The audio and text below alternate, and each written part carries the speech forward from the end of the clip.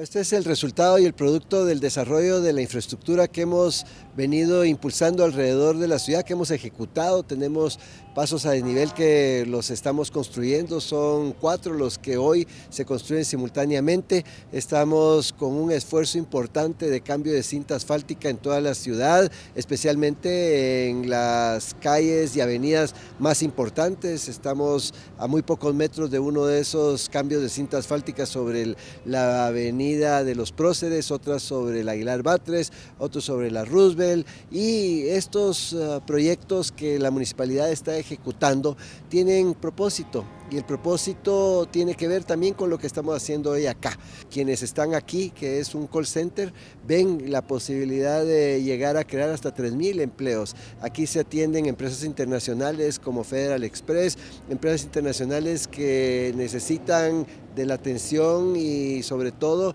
de un esfuerzo humano que aquí en la ciudad de Guatemala no solo tenemos la capacidad, sino que tenemos a las autoridades que estamos decididas y comprometidas a trabajar al lado de quienes creen e invierten en esta ciudad y eso es cabalmente lo que estamos hoy aquí haciendo junto a las personas que han venido de fuera, es una inversión extranjera que viene a nuestra ciudad. Pues agradecemos mucho la visita del señor alcalde,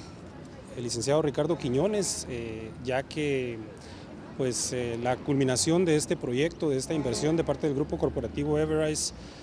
no solo era importante para nosotros como empresa, sino también para el país y para la ciudad de Guatemala.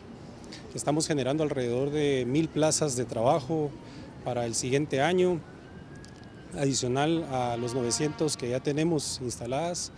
y recibimos un apoyo por parte de la Municipalidad de Guatemala para eh, poder completar este proyecto con satisfacción que fue esencial.